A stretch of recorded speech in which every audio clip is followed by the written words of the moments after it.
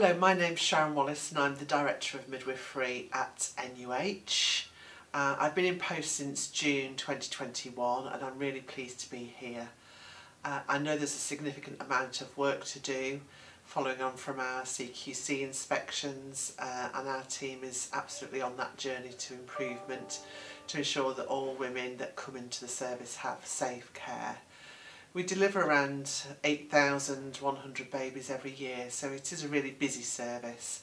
Uh, and we're really sad and sorry when we don't get it right for, for some women and their families. But we're working hard to make those changes. So some of the things that we've done is around separating out our triage area at Queen's Medical Centre uh, from the B26 ward, that's now a separate area. We've implemented a, a single advice line so that women can just ring one number for any of their issues or advice uh, and that's working really, really well. We've invested lots of money in staff training, in new equipment. Uh, we're continually recruiting into our vacant positions uh, and we're looking at everything that we can to ensure safety for all our mums and babies. Uh, and that is a continuous journey that we're on.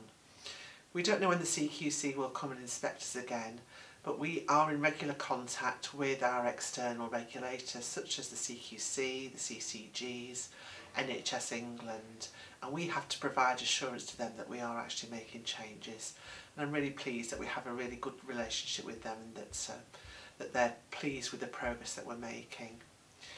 We are undergoing an independent review, so this is around our cases going back some 10 years and this is a team that is separate to NUH that is looking at incidents and how they were managed to look for any themes uh, and anything else that we need to address. So we're really supporting that and engaging with that and that report will come out at the end of next year hopefully. So while I'm talking to you, I thought it would be useful to have an update on COVID. So we've seen a significant increase in pregnant women having COVID infections. And while at the start of COVID, pregnant women weren't too affected, we've certainly seen that this year. Uh, and we often have pregnant women with COVID infections on our delivery suite. We've made some really fantastic changes in that we have a virtual COVID ward. So if you're pregnant and you test positive for COVID, you must ring than maternity services. And what we do is we monitor you from home.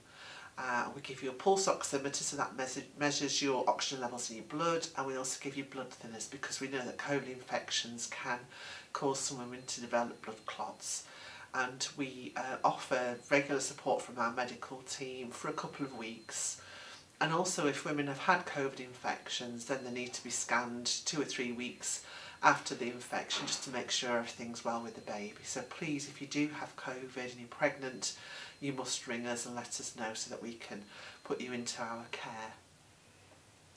Unlike the rest of society, the hospitals are still working within COVID restrictions, so really nothing has changed for us.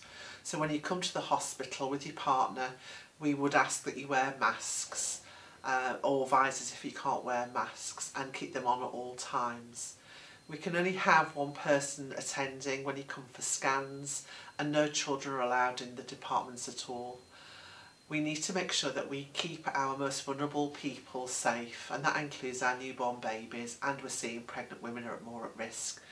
The reason that women, pregnant women are at risk is because you're less likely to have been vaccinated in the first offers for vaccines. Uh, and we do know that, that there's quite a few pregnant women that, that haven't had the, the vaccine are a, a little bit concerned about it. So I would really urge you to talk to your midwife or your GP, but really to have the vaccine. It is safe in pregnancy uh, and it's the best way to protect you and your family. So when you come into hospital, there is restrictions on visiting. Partners can come in for, for labour and birth uh, and then for designated times on the postnatal ward. It absolutely isn't what we want to do but it, we have to follow national guidance and that's the advice that we're given from NHS England. But we will try and, and do the best that we can to make sure that your partners um, are, are informed and, and as involved as they absolutely, as much as they absolutely can be in, in this time.